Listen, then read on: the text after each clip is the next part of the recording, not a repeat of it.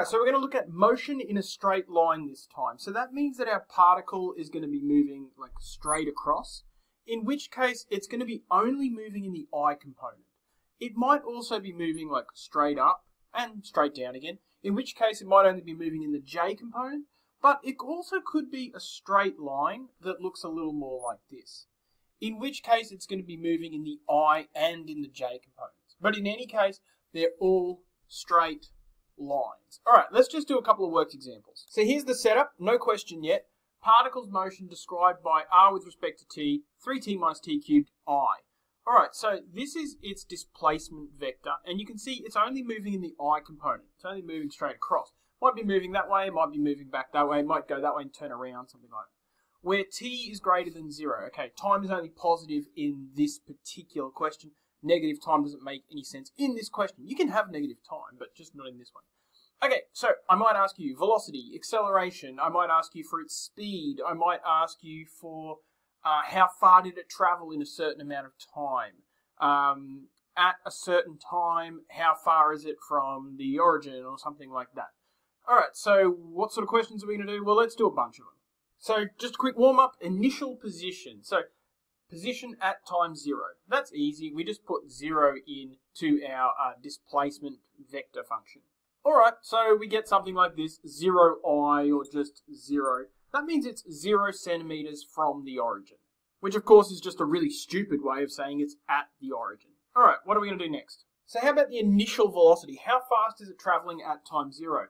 Well, to do that, we're going to have to find the derivative of r with respect to t. So r dot t, that's equal to our velocity function, which is going to be equal to uh, bracket 3 uh, minus 3t squared.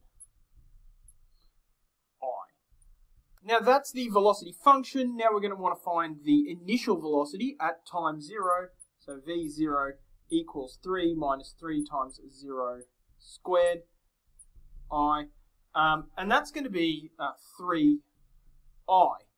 Now, that means that it's moving at 3i, uh, let's say, centimeters per second. Now, those units, both centimeters and seconds, would be given in the question somewhere. I've been a bit lazy with my expression of my question. All right, so this is moving in the I plane here, okay? So it's moving straight across like this at a speed of 3 centimeters per second at time zero. Now, I just said the word speed, but I'm also talking about velocity, and you know they're related, but you also know they're not the same. But in this case, they are the same because it's moving in the I direction at 3 centimeters per second, because it's not moving in the I and the J components, this is the magnitude of the velocity, which means that it's also the speed. So next step, let's find speed at t equals 2. Now, I can put the 2 into here because of what I just mentioned, but instead, I'm going to create like a speed function just in case we end up looking at one that's moving in a diagonal. So a formula like this keeps me out of trouble. Speed at time equals 2 is equal to the magnitude of uh, vector at time 2. Alright, so let's just sub 2 into our velocity function, see how we go. So when I do that, I get this here, and this here, and this here, which is the magnitude of negative 9i. Now, speed can't be negative. You're either speeding forward or speeding backwards, but in any case, your speed is positive. It's the magnitude of your velocity.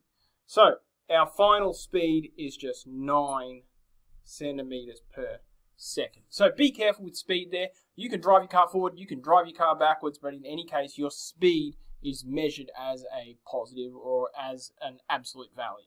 All right, this is the first real challenging one. Where and when is velocity zero?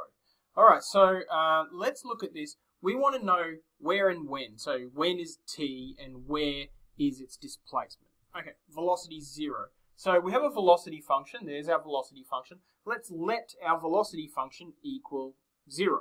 All right, so we have zero equals three minus three t squared bracket i. Now, we don't need that i in there, so we can just rewrite this without our i, and then rearrange to solve for t. Now, if you're careful about that, you're going to end up at plus or minus root 1, and root 1 is just 1. But then, importantly, you're going to say, wait a minute, the question said where t is greater than or equal to 0, so we can reject negative 1, uh, because uh, t is greater than or equal to 0. Therefore, t is equal to 1. And that solves the when, but it doesn't solve the where. So we can now sub t equals 1 into our where, which is our uh, position vector function. A little bit like this. And then we just do some maths. There you go. Uh, 2i. So what can we finally say here? We can say at t equals 1, um, particle at 2i, and its velocity is 0. Alright, and that about wraps up what I want to do with that question. Let's run through a whole different example. So in the last example, we were moving straight across. This time, a ball is thrown straight up. We're going to be moving straight up, turning around and moving straight down again. Uh, now, the ball is thrown from an initial height of 5 meters, and its initial velocity is 15 meters per second. And we are on Earth. Now, that we are on Earth bit is really important because gravity on Earth is approximately 9.8 meters per second per second. That means it doesn't matter whether you throw a ball into the air or a truck into the air or a cat into the air, it's going to immediately start accelerating back down again at a speed of, or at an acceleration of 9.8 meters per second per second. All right, so what sort of questions am I going to ask you with this initial set? Something like this. Uh, find the acceleration function. Now, doesn't matter whether you're throwing a ball, truck, or cat into the air, the answer to this question is always going to be the same, negative g j. That means that it's accelerating by negative 9.8 in the j. It's accelerating it downwards. That's where the negative come from. 9.8 because we're on Earth. If we're on Mars, it'd be something different. And j because that's our up and down component. Okay, you can probably guess what I'm going to ask you next. What's the velocity function? So we just need to uh, anti-differentiate this. Now, negative g, don't forget that's negative 9.8. And the antiderivative of a number is just the number multiplied by t.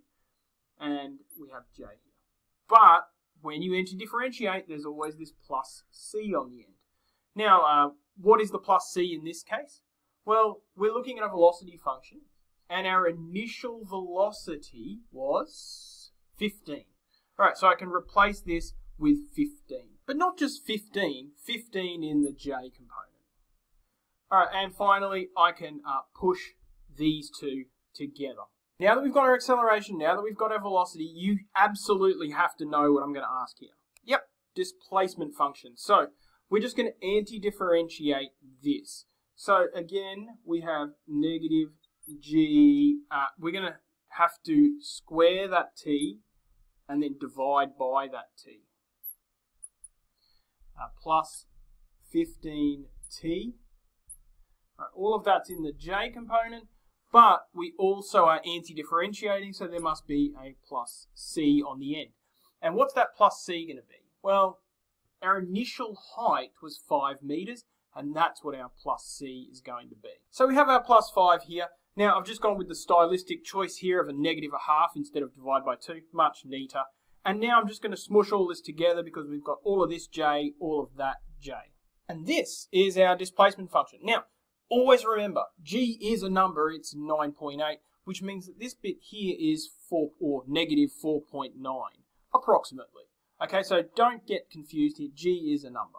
Um, all right, so what could I ask now that I have an acceleration function, a velocity function, and a displacement function? Well, why don't we find this thing's maximum height? All right, so how can we find its maximum height? Well, maximum height is going to occur uh, when velocity is equal to zero. Now, I've talked about this before, but that means that the object's going up, up, up, up, up, and then it stops for a split second, and then it starts coming back down again. That means that at that point, when it turns around and starts coming back down again, its velocity, it's not going up, it's not going down, its velocity is equal to zero. So here is the velocity function, which I've pulled from here, and I'm going to let it equal zero, because that's what we want to do. Alright, so we don't need that little j on the end, so let's get rid of that. And then let's just rearrange and solve for t. So negative 15 equals negative gt.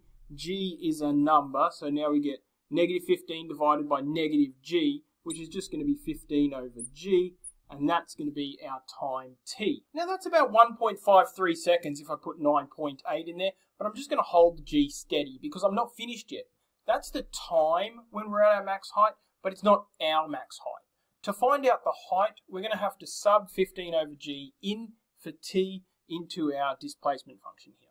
All right, so what I've done is taken my displacement function, moved it up to here, and subbed in our time 15 over g into it. Now I'm just continuing to work through here, kind of regret it.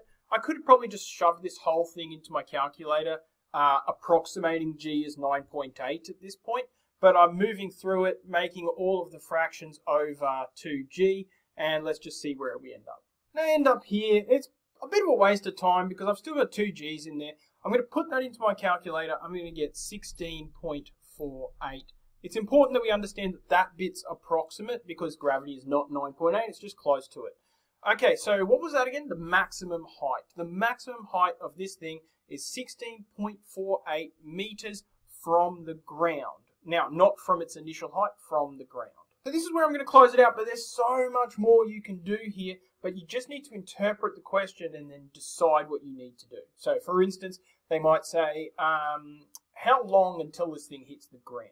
Well, you just need to find out when it hits the ground by letting the displacement equal zero and then finding the time at which that occurs. Uh, they might ask you what is the velocity when it hits the ground. And in that case, you would have to sub zero in, find out when it hits the ground, sub that time into the velocity function, and that'll tell you how fast it's going when you hit the ground. But you just need to interpret the question and then say, how can my equations help me get to where I need to go?